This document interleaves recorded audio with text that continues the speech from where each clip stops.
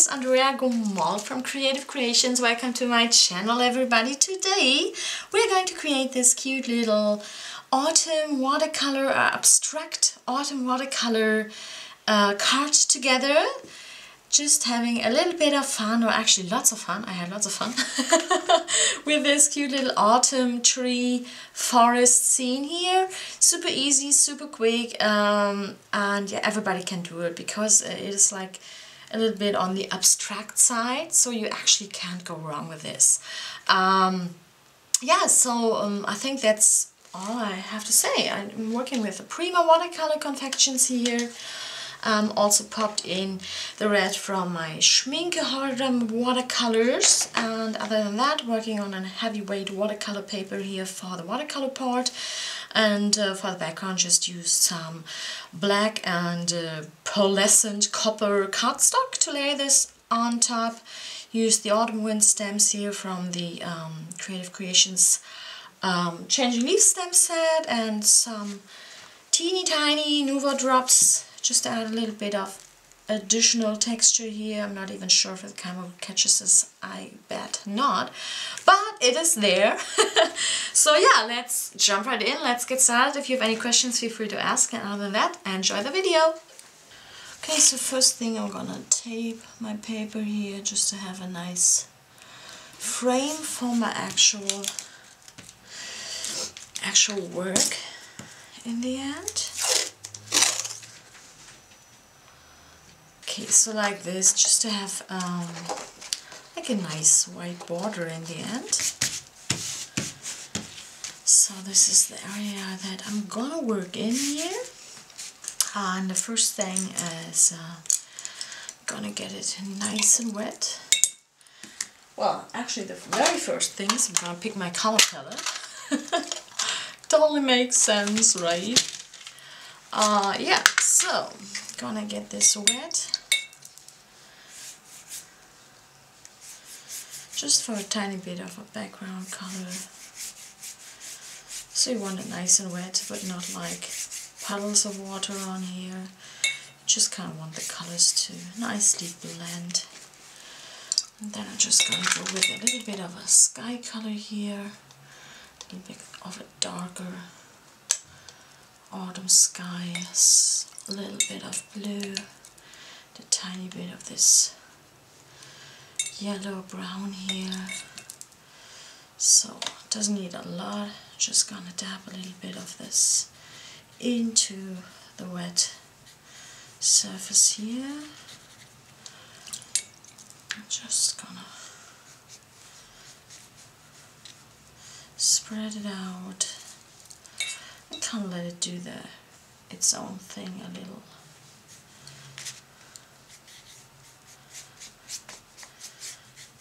just really want the, the base color here very very light. Just like a hint of color.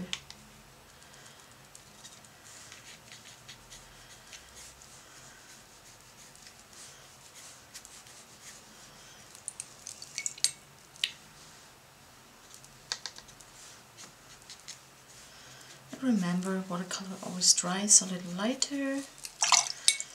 So Make sure to keep that in mind as you go.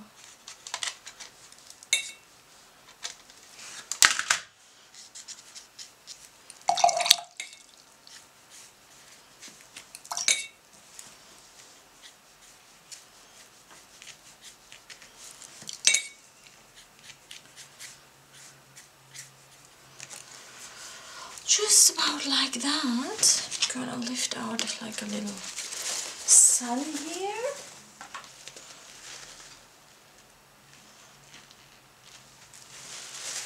Just like that, just letting it blend a little, totally fine. Don't need that like perfect shape. Just like the slightest hint of a sun here in the sky.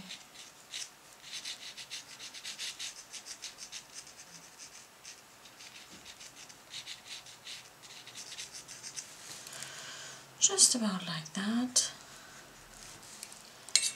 maybe a tad bit more brown here to the ground.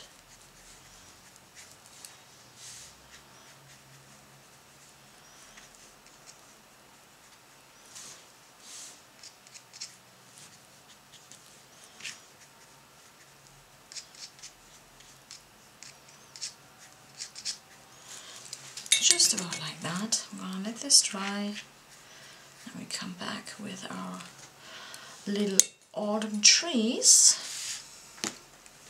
Okay, so then I basically just map out the just a very basic shape of my tree, just with a very, very light orange, green, just like one first base color here. Just like the, the crown of the tree.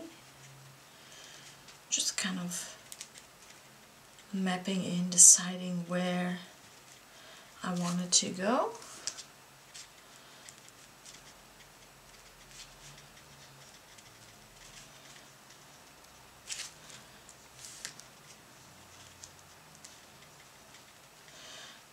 and this is like nothing to do with the final color that I'm going with.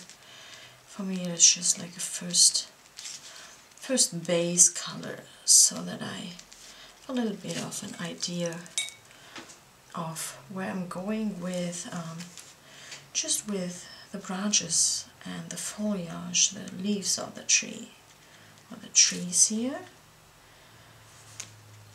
Just want to make sure that that first color is like very very light because again with watercolor you want to work light to dark so you want to start like very, very light.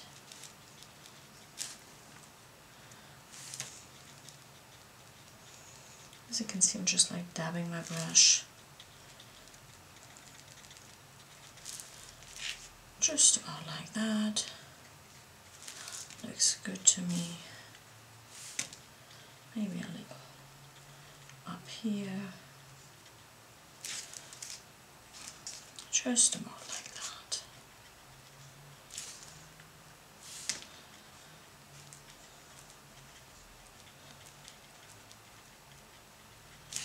Alright, so I'm gonna let this dry. Okay, so next round I'm just mixing like a little bit of a light browny orange color. And again, if you're looking like at autumn trees, that kind of all the colors between like red, orange, brown, green, so you can really go to town with this, uh, with autumn trees and have lots of fun with the colors, mixing a little bit of a red here.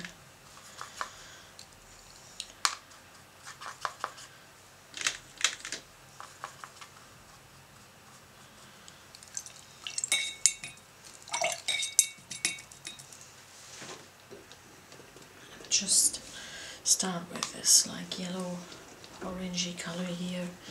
Again, kind of want to build it up from light to dark. So just seeing where I did like put my my first foliage here, my leaves, the crowns of my trees. And I'm just going in with my orange yellow this time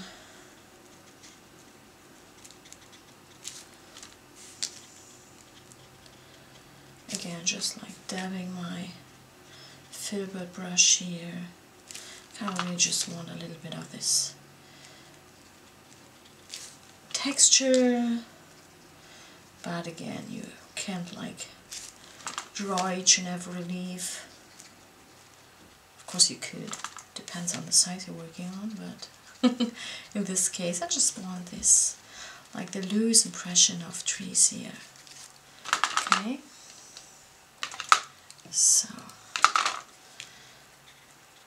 also dabbing in a little more solid in some areas.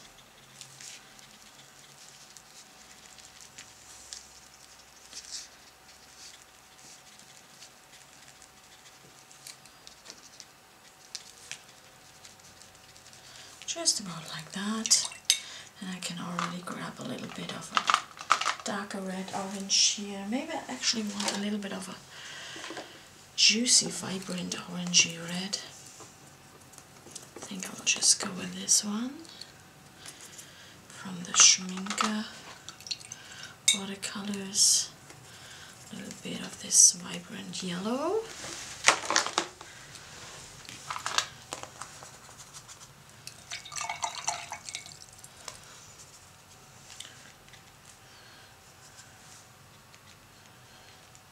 Going red this time.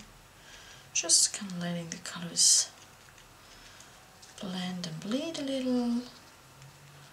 Letting them like have some fun on the paper.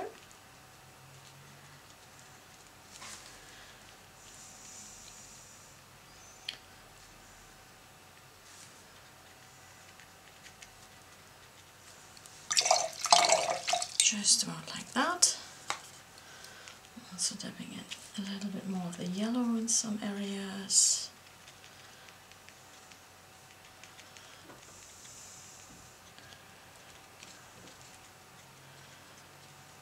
And then I'm just letting this dry again before I'll go darker. Okay, so next I'm gonna go in with a little bit of a brownish color. Just mixing some dark brown with a little bit of this yellow and red. Again, like not overthinking it. And now I will start to give this a little more shape, kind of slightly deciding where the individual trees would be, okay?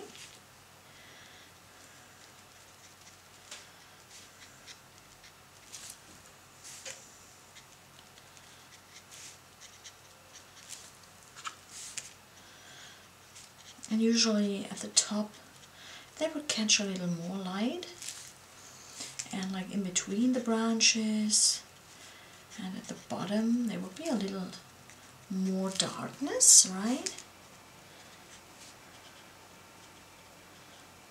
Again, still just dabbing.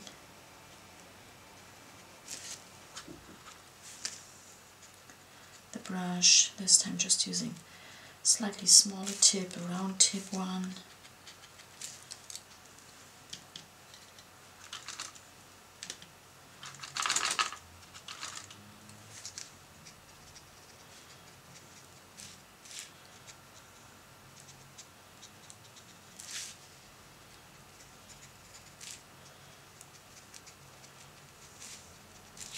if you imagine looking at like an autumn forest or some a combination, a grouping of autumn trees right in front of you, you would hardly see like where one tree ends and where another tree starts. It's all like kind of melting into each other. It's just like a symphony a cluster of autumn colors and that's actually what I love and that's actually what I wanted to like um, mimic here. So just grabbing a tiny bit of green, just in some areas. Of want a little bit of green still visible.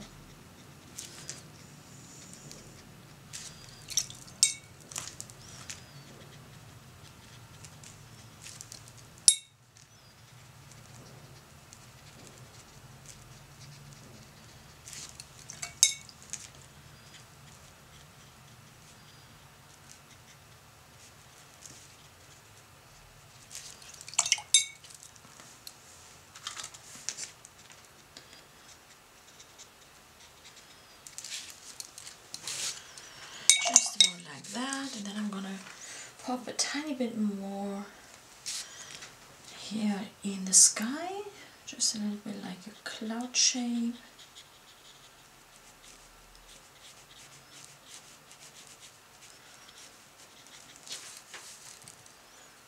just using like a grayish blue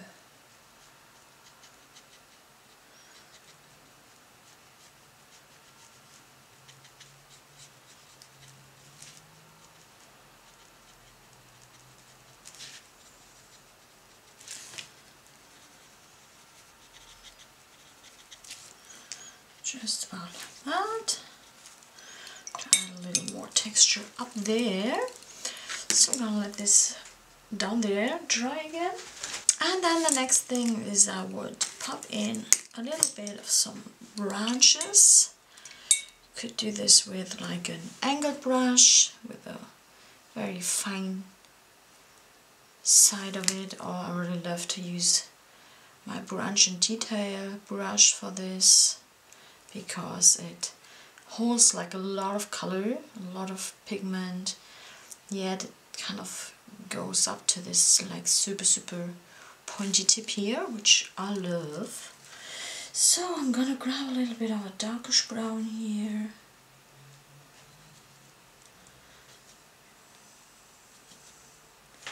Then I will just go in just giving the like the slightest impression impression of like some uh, like little like branches here.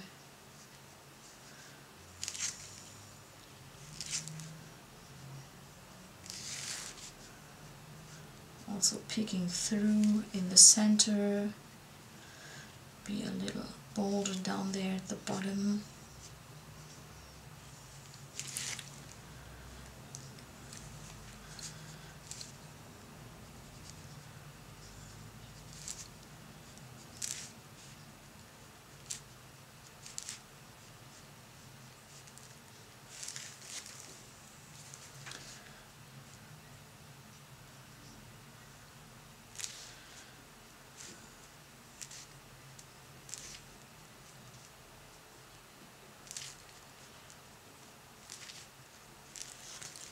just about like that. Just to kind of give it a little bit of texture in between though in between yeah, I kind of can't talk today. In between those different combinations of greenery of leaves here. Just about like that and then I will just go in and dab a little more brown just into some areas to create a little more depth and shape here like between the different trees just to kind of separate the different layers a little, right?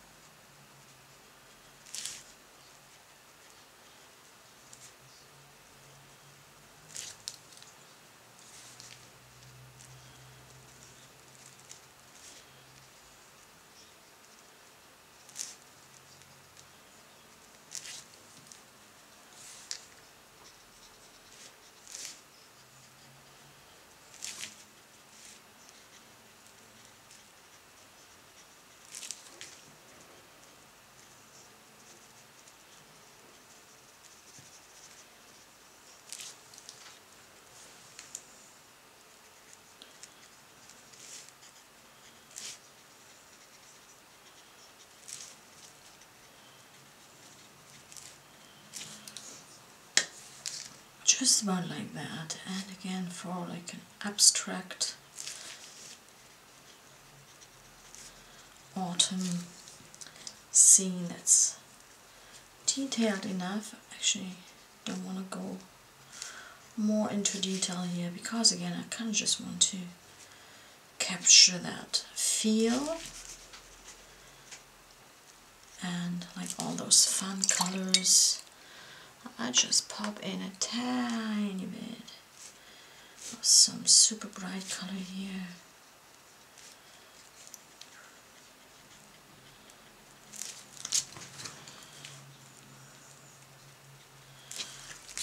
And then I would probably add a little bit of splattering. Actually, it's, I think it just needs a tiny bit more like darkness down here. Again, this is just like process as I go. Just look and then kind of decide what I want to do and what it needs where.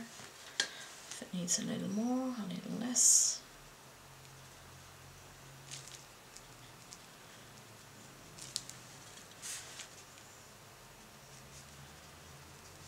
Just about like that. Righty, so just a couple of splatters and then calling done. So I just load my brush with a little bit of uh, orange for example and just add some teeny tiny splatters here just to kind of add to that autumn effect. Maybe a little bit of red. And like those splatters are like super small, so I guess you can barely see them on camera. But they are there.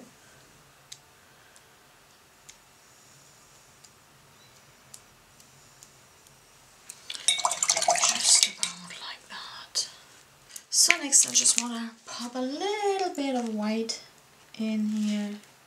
Just some teeny tiny light reflections in between the branches, just here and there, teeny tiny dots. Nothing super super uh, big.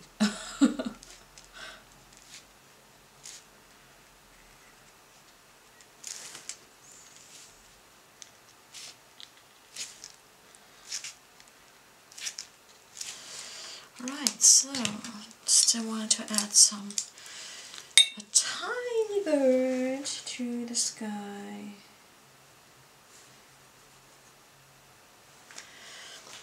Could of course do this with um, with a with a little like marker but again with this brush it works pretty good. Here. Just about like that. To balance it off a little. So, gonna get rid of the masking tape. gonna cut it off. Trim it to size for my little autumn card.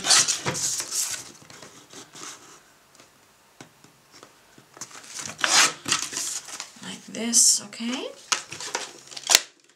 And then I will just take a look and see what type of paper I of want to use to layer this. Okay, so I grabbed some black cardstock uh, to kind of layer this and then some of this beautiful like iridescent autumny color cardstock. And I'll just go ahead and trim this and layer this. I'm gonna stick this onto this.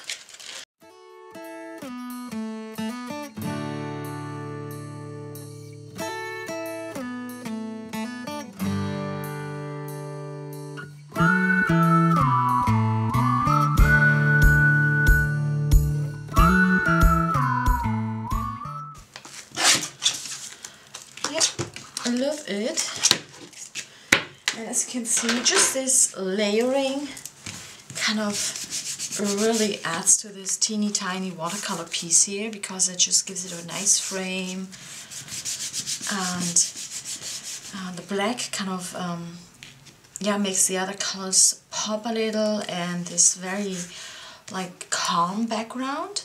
Um, it also kind of calms the whole thing down a little because this like watercolor part is like super busy and initially I kind of planned to layer it on a paper like that but then I decided it would be like way too busy because like the foreground is super busy already and if you imagine the background to be um, like busy as well that would be like too much busy, right?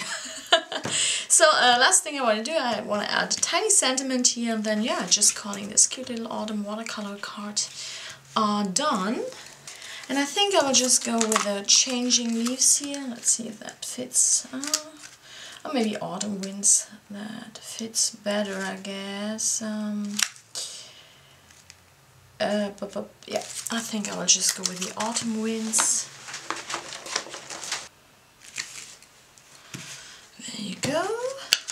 Penguins.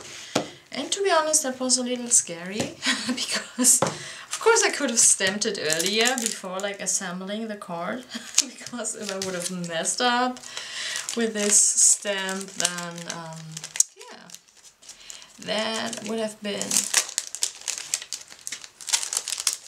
less than perfect and I would have to kind of make it work just add a tiny flower or tag or something if you mess up just add a flower right? Um, yeah and then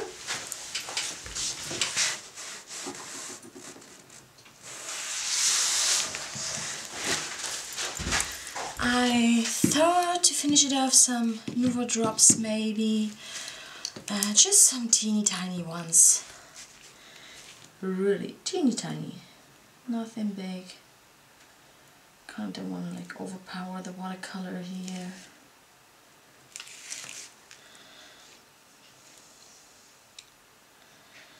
just for a little bit of additional texture in the end.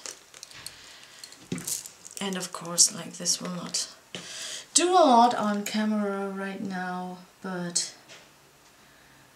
in real life they kind of leave you with a really pretty enamel dot effect which just kind of adds a little bit more depth and dimension and texture. Especially if you're like holding the card in your hands. I kind of like it to have just teeny tiny bit of texture going on somewhere. This kind of makes it a little extra special and now we have some fireworks going on outside. I don't know why. yeah, love it. Really cute. And as you can see, this was like super, super quick and actually super easy. Just have some fun with it. I hope it inspired you. I hope you like it.